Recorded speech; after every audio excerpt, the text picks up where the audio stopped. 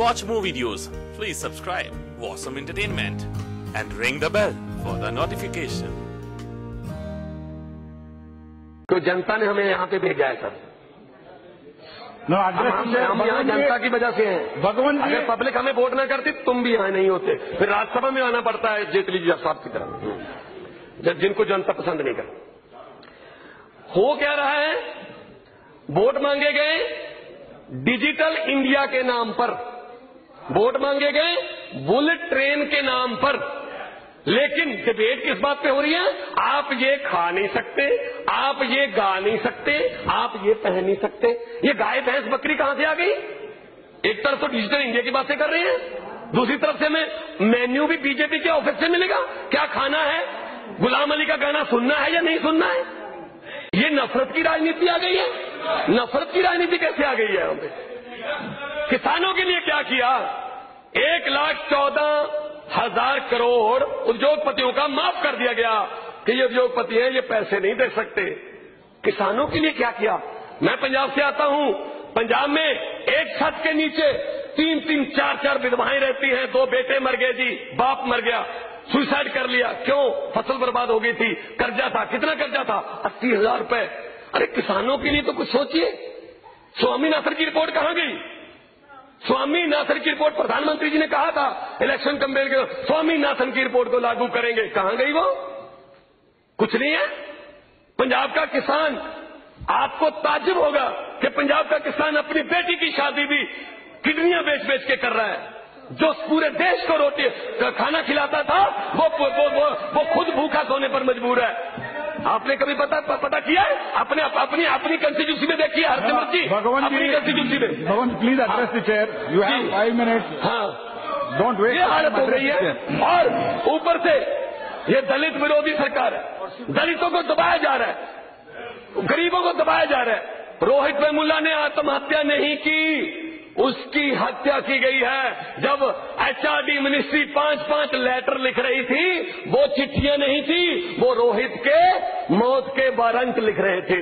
ایک, ایک اتنا جبا اتنا ٹیلنٹڈ ہمارا یوتھ آتم ہتیا کرنے پر مجبور کر دیا۔ اس کے اوپر اس کے ایچ آر ڈی منسٹر جو ہیں وہ بڑے بھاشن دے رہی ہیں، غصے میں ایموشن یہ کوئی سیریل تھوڑی ہے ساس بھی کبھی بہو تھی؟ یہ ہاؤس ہے، یہاں پہ اپنے اپنے طریقے سے بولنا چاہیے۔ اس کا مطلب یہ تھوڑی ہے کہ آپ جو بھی بول دو گے وہ پاس ہے، اس کی تعریف ہو رہی ہے۔ واہ واہ واہ واہ واہ واہ۔ کیا ہو رہا ہے یہ؟ میں یہ کہنا چاہتا ہوں، پاکستان کے ساتھ ہمارے سبند کیسے ہیں؟ کیا بول رہے تھے مودی جی؟ ایک سر کاٹیں گے، ہم پندرہ لے کے آئیں گے۔ کیا ہوا؟ وہ چائے پی رہے نواز شریف کے ساتھ۔ ان کو اچانک سے ایک پردہ ہمارے دیش کا پردھان منتری the biggest democracy of the world اس کا پردھان منتری بنا بتائے بنا اپوزیشن کو بتائے لاہور میں اس کا جہاز لینڈ کر جاتا ہے۔ ہمیں پتہ چلتا اچھا ارے یہ چائے پی رہے ہیں کیونکہ ان کے گھر پہ فنکشن تھا۔ اور اوپر سے وہ وہ کبھی پٹھان کوٹ میں کبھی دینا نگر میں حملے کر رہے ہیں۔ پلیز کیا ہوا میں؟ سر چار منٹ ہو گیا میں بیل سر سر پلیز پلیز بولنے دیجیے مجھے پلیز پلیز۔ ہاں۔